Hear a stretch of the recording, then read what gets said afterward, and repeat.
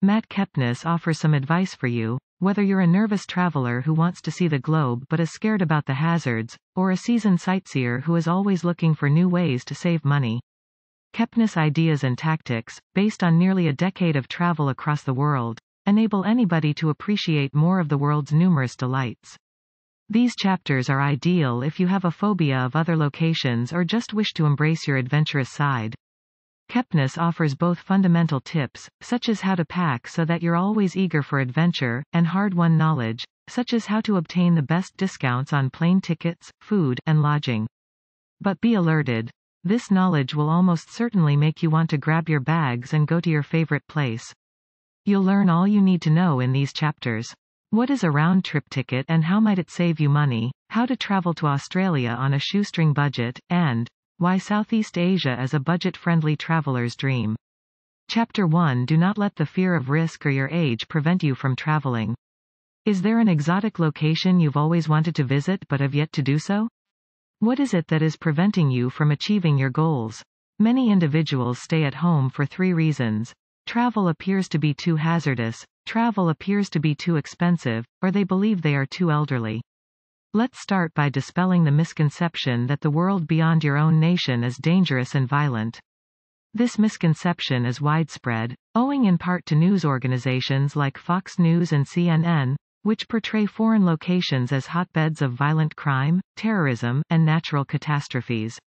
If these are your only sources of information about the outside world, it's understandable if you believe a journey overseas would definitely result in an encounter with a xenophobic killer or a catastrophic tsunami. Consider one basic fact. Over the past 10 years, the author has been continuously traveling throughout the world. He has never faced violence or even had someone express significant hate for him because he is an American. The fact is that we are afraid of visiting distant countries because we are afraid of the unknown. Let's face it, your local news isn't going to tell you about the excellent things that are occurring in other countries.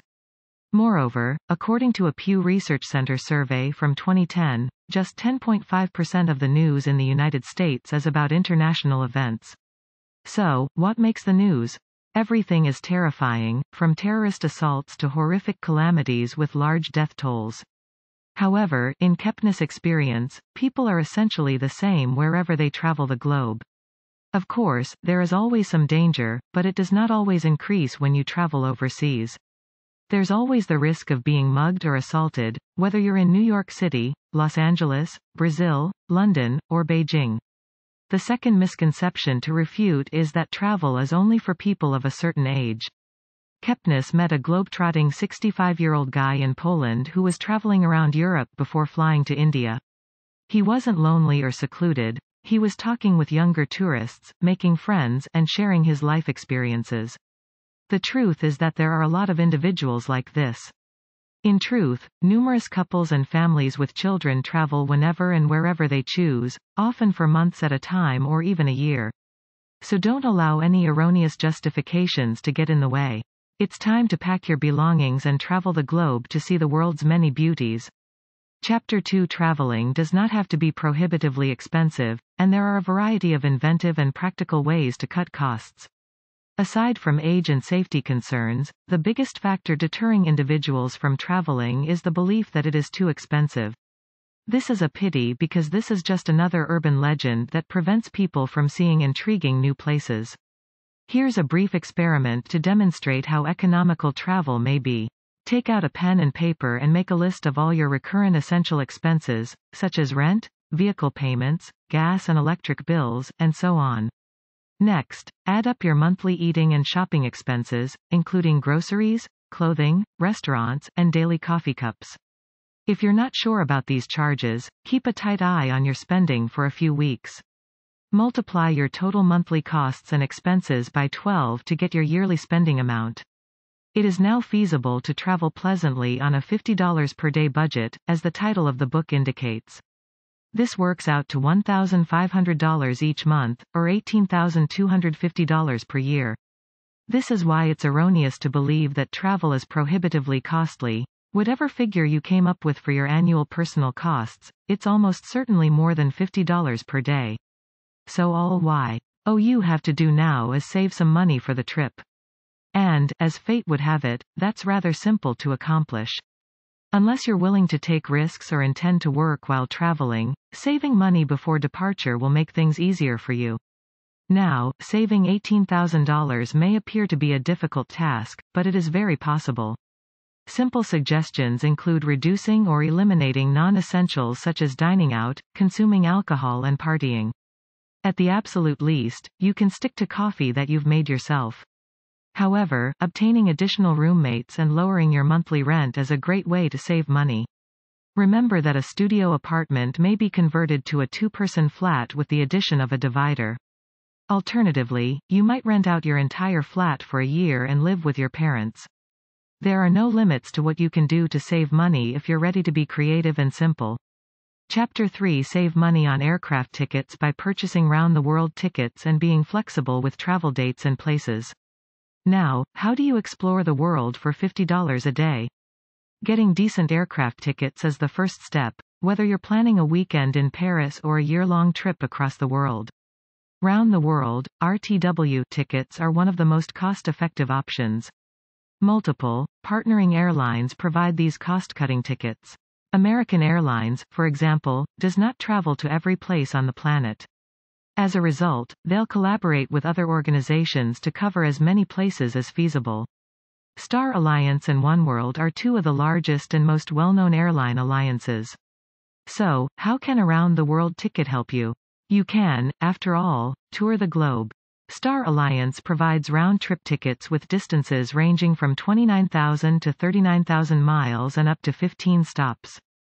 Keep in mind that you must begin and end at the same location, as well as go in the same direction.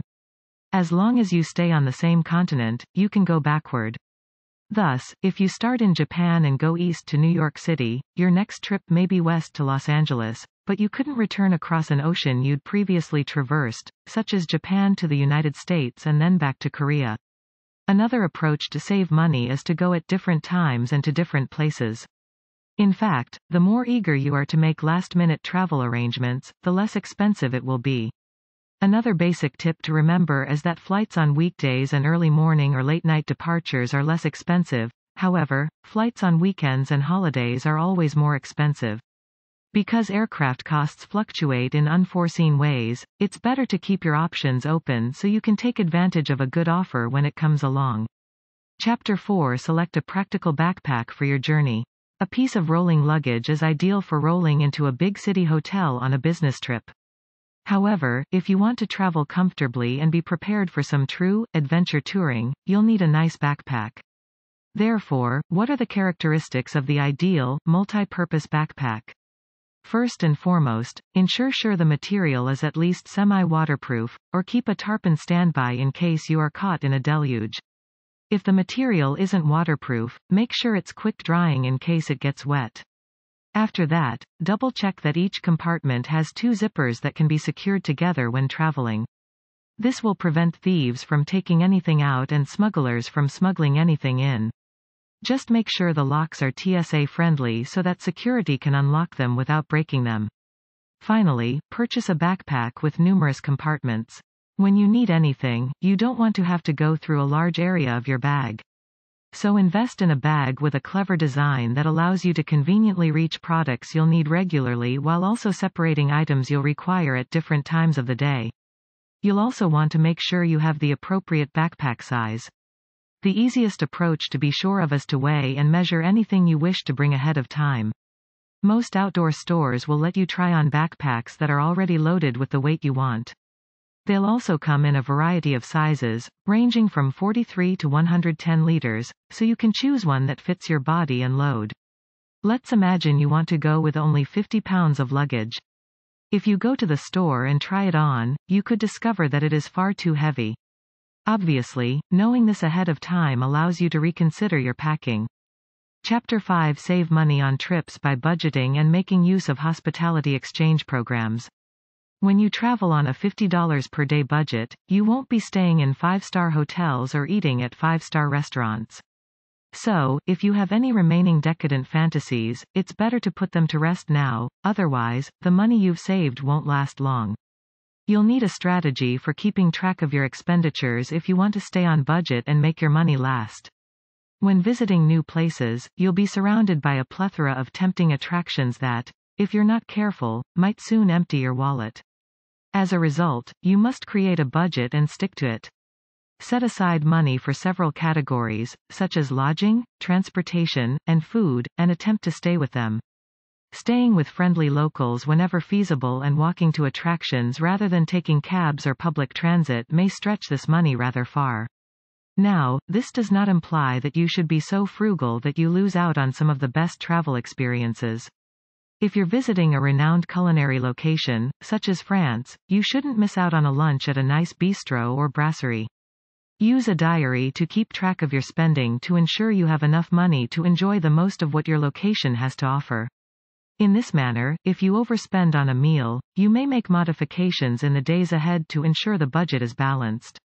Using member-driven hospitality service platforms is another cost-cutting option. Avoiding the excessive expenses of hotels is one of the simplest and most significant methods to save money. And, with so many various hospitality services available on the internet these days, finding low-cost alternatives has never been easier. Couchsurfing is one of the most popular services, with millions of members and hundreds of thousands of active hosts in over 70,000 cities worldwide. Signing up for a Couchsurfing membership is completely free.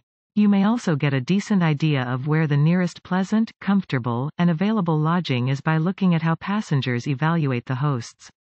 Servas International and Hospitality Club are two other hospitality service websites you could find interesting. Chapter 6 Prepare your own meals and take advantage of lunch specials to save money on food.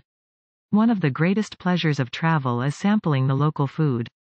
If you're traveling on a budget, though, it's typically better to pretend that fine dining doesn't exist and prepare at home instead, keeping takeaway and dining out for special occasions.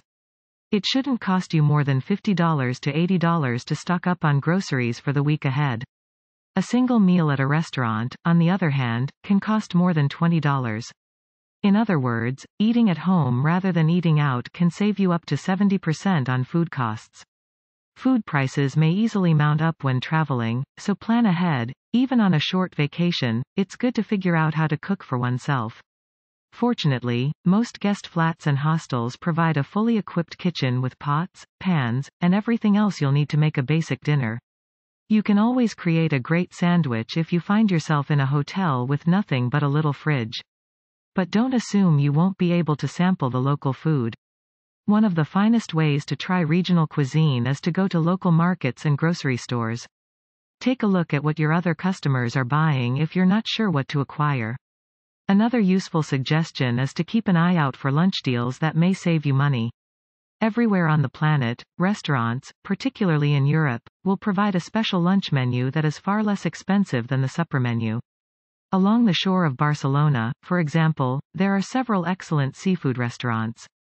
However, supper at one of these establishments might easily cost $50 or more. However, these same establishments are sure to have a lunch special that can give you a fantastic meal for under $20. You won't find a website listing all of the local lunch specials, but if you ask the Tourist Information Center or the person who works at your hostel's front desk, you'll almost certainly get an excellent recommendation.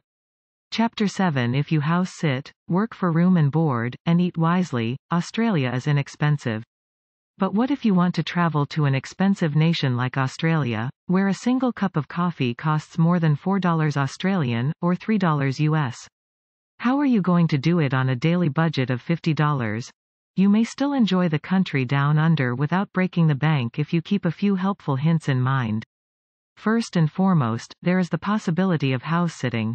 Because Australia is so far away from most other nations, Australians like to take longer holidays to make up for the time and money spent traveling. House sitters are in high demand as a result of this. They are allowed to reside rent-free as long as they look after the vacationer's house, dogs, and plants. Check out the popular website Aussie House Sitters at aussiehousesitters.com.au for more information. If you're willing to put in a little more effort, you may try WWOOFing, which is doing voluntary work on organic farms or ranches in exchange for food and lodging. WWOOF, or Worldwide Opportunities on Organic Farms, is the organization that runs the program. Because Australia has so much wilderness and agricultural area, laborers to harvest fruit and grow seedlings are in high demand. It's also an excellent way to save money while meeting new people. While eating out is usually an expensive proposition everywhere you travel, this is especially true in Australia. Australia has fantastic culinary culture since they want to use fresh and nutritious items. However, it isn't inexpensive, with the typical lunch costing at least $25. Because of the high cost of food, your weekly groceries will cost you around $80, but this is still the most cost-effective option, so you'll want to cook at home in your apartment or hostel kitchen.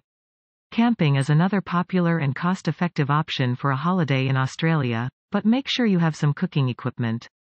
If you don't, the money you saved by not staying in hotels will be swiftly spent on food. There is one inexpensive food item in Australia's marketplaces that you should try. Kangaroos are as widespread in Australia as cows are in the United States and Europe, so you can get inexpensive kangaroo meat in a lot of places. Chapter 8 Southeast Asia is an excellent budget vacation option. Although Australia is more costly than the usual tourist destination, there are certain spots where your money will stretch further. Southeast Asia is one of them. Many individuals in this area earn approximately $1,000 per month on average, thus living is inexpensive and you can get by on $50 a day. In Southeast Asia, good lodgings are very inexpensive.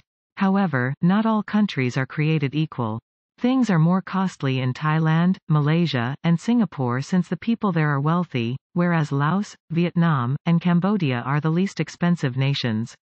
A modest single room with a fan and access to a communal bathroom might cost as little as $2 in certain remote places.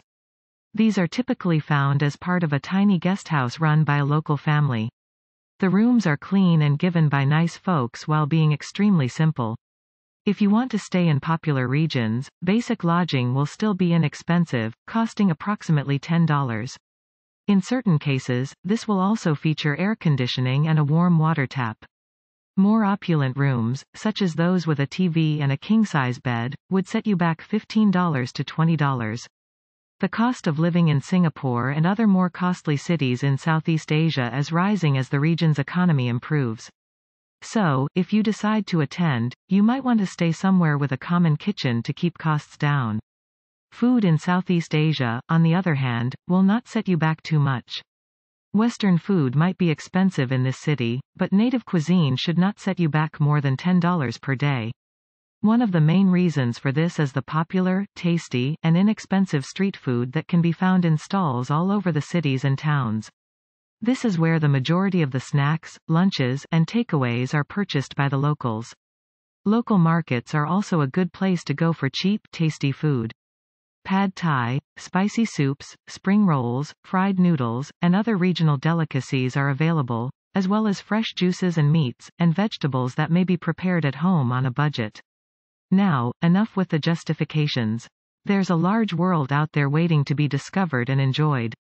How to Travel the World on $50 a Day. Travel Cheaper, Longer, Smarter by Matt Kepnes book review Traveling the world is not as risky or expensive as you might believe. All you have to do is let go of your need for lavish lodgings and embrace your adventurous side. There are a lot of simple strategies for any traveler to save money. You may be able to travel the world while spending less money on a daily basis than you are now spending at home.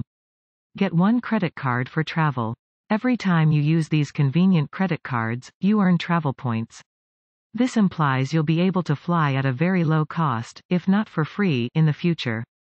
These cards don't charge any additional fees for purchases made outside of the United States, so they're a good choice if you intend to travel frequently.